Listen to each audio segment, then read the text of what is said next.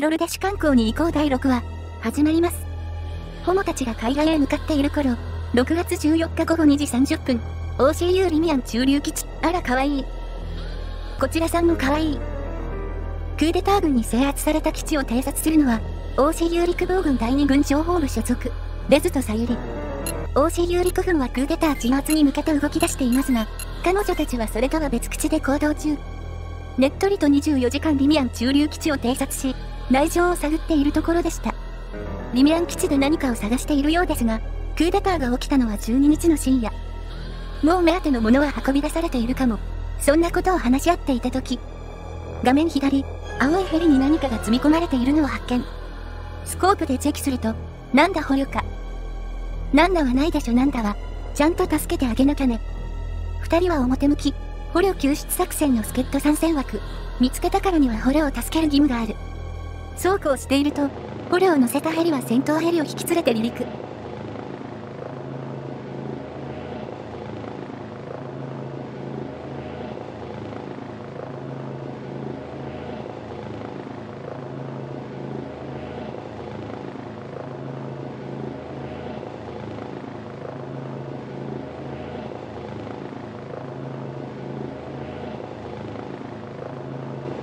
プロペラ回転方向指摘民もこれで成仏することでしょう。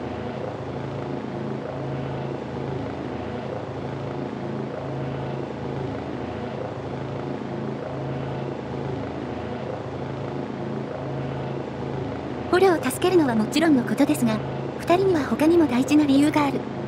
リミアン中量基地にいた兵士なら、二人が探すものについて何か知っているかもしれない。あのヘリの行き先は、おそらくクーデター軍の司令部。到着してからの救出は困難。他部隊と合流しづらいポイントで待ち伏せし、そこで叩く。もうリミアン中量基地にいても情報は得られないでしょう。撤収じゃ。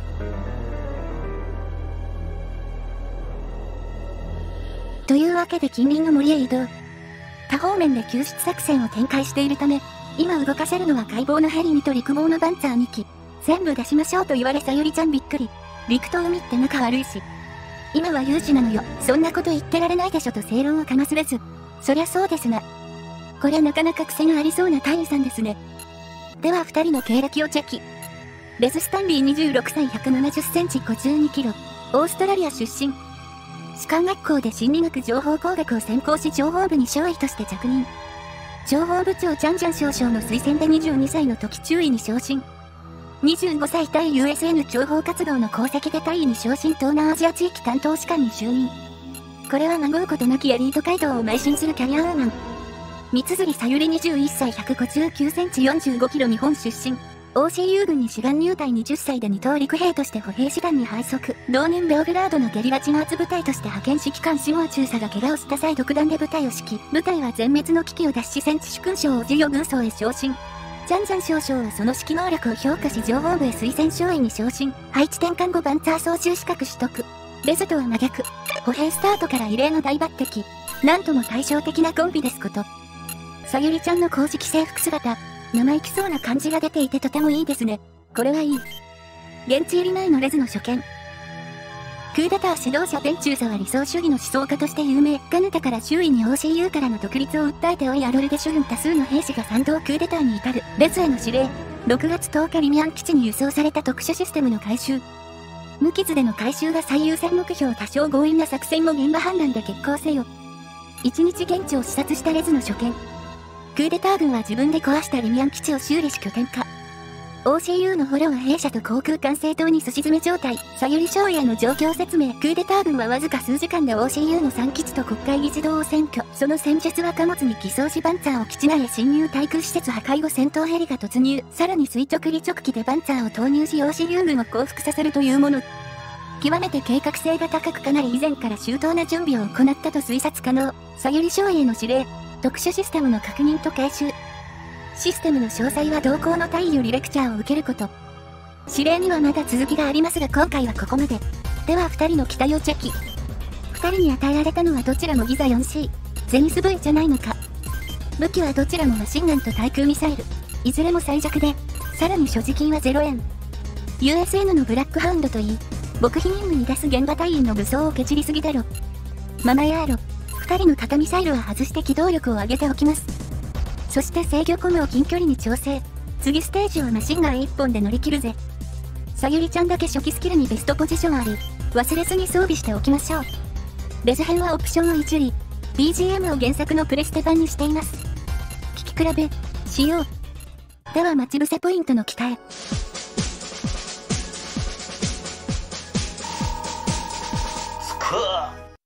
レズたちは別ルートを使い先回りし、ヘリの行動が制限される山間で待ち伏せ。ここなら敵が増援を呼んだとしても、到着前に処理して撤収ができることでしょう。待望のヘリ2機と陸望のバンツァー4機。これなら貧相なアロルで処理区軍に負けることはないぜよ。戦闘ヘリのパイロットが敵のヘリを確認。よし、王子優勢機軍の力を見せてやれ。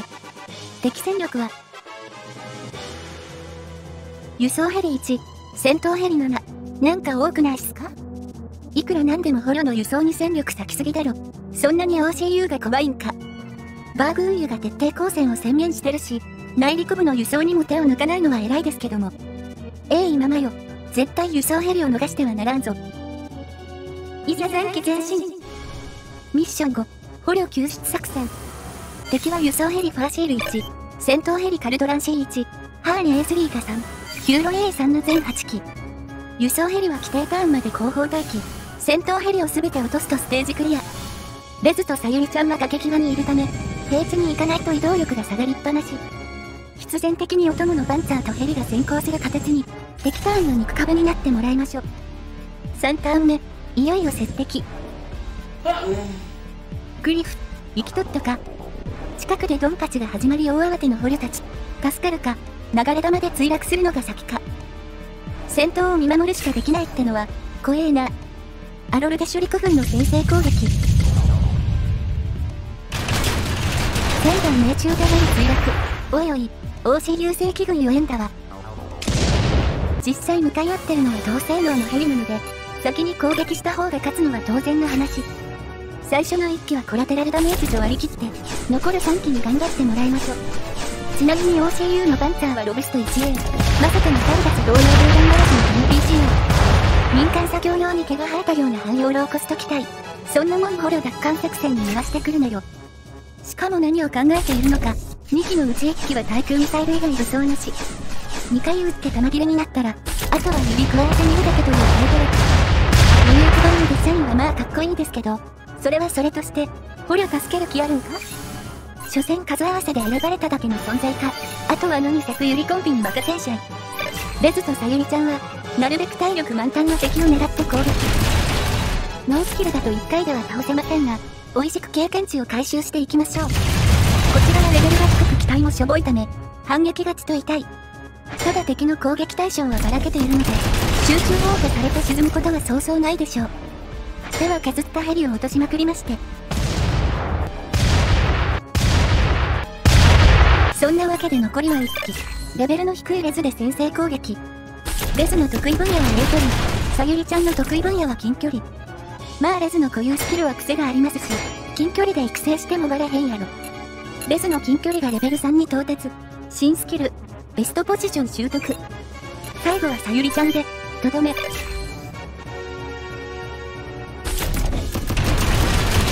ッション5、攻略完了です。ちゃっかり生き残ったロブスト 1A 君と一緒に、輸送ヘリに降伏勧告。さすがにここで死なばもろともするレベルで狂ってはいなかった。ヘリを着陸させ、パイロットを拘束。ロブスト 1A 君を放置して OCU 兵に操縦してもらいましょう。あれやこれやをして準備 OK。移動前に少しインタビュータイム。こちらは OCU 陸防軍の救出部隊です。にっこり柔和な笑顔いいぞこれ。これから安全な場所まで案内する上、落ち着いたらあれこれ聞かせてもらいますわよ。目指すは東部国境を越えた先、OCU 陸軍臨時司令部。あー、生き返るわ今日のアンブッシュには何点もらえるかしら？残虐行為手当520、特別手当3000、維持修理費283円。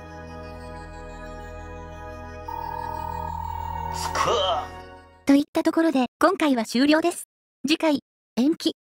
それでは皆さん、お達者で。